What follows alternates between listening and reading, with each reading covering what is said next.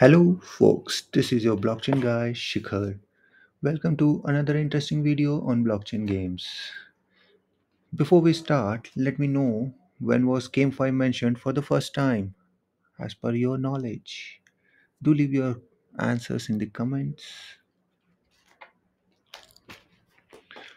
The term DeFi has been well known in blockchain space, and its merger with games have brought GameFi into existence. That's how the gaming tokens came into the picture that you see on screen. There are approximately 13,000 tokens listed in CoinGecko.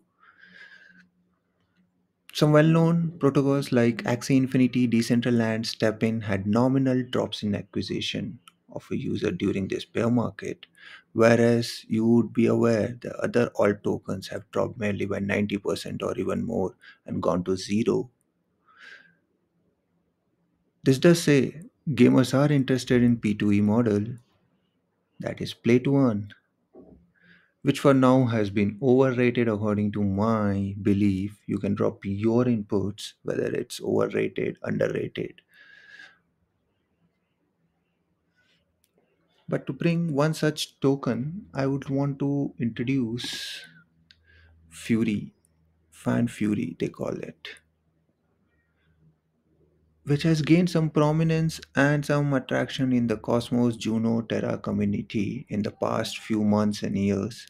They have some done some good announcements and very recently they have also listed themselves on an MEXC exchange. This is their official Twitter account. I believe after going through their tokenomic structures, how they have detailed it out, it does give a stronger belief that gaming tokens can do well and are resistant to bull and bear trend if they manage their tokenomics properly. Certainly, that's the question here. Say STEPN has also been doing good, but it has gone down because there is too much of tokens now into the market, the governance token, and they fail to recuperate how to ensure that this particular phenomenon can be handled to control their value of a token.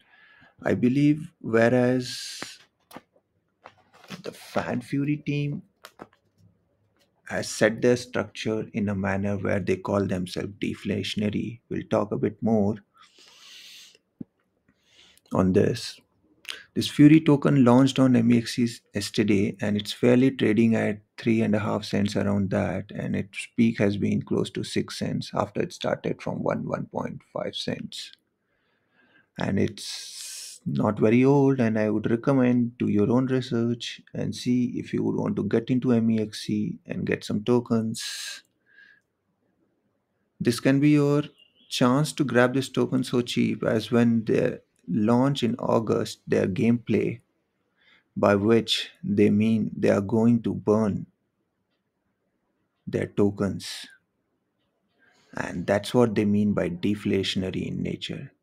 And with my research around, I have seen this kind of a model put in a picture where every 8 hours, 24 hours, there is a burning mechanism carried out. And that's humongous. Today it's at three and a half cents. It won't take a lot of time to go higher. What does this deflationary mechanism also guarantee? That as the time passes by, there will be lesser and lesser number of tokens in the market for the users to play the game or hold the, those tokens or even stake those tokens.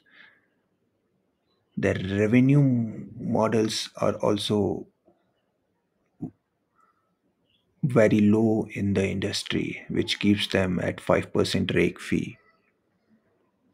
This really ensures that DraftKings, HalaPlay, Dream11, MPL, fantasy sports players who are on Sorare or Def 11 as well might move to this particular application post the launch.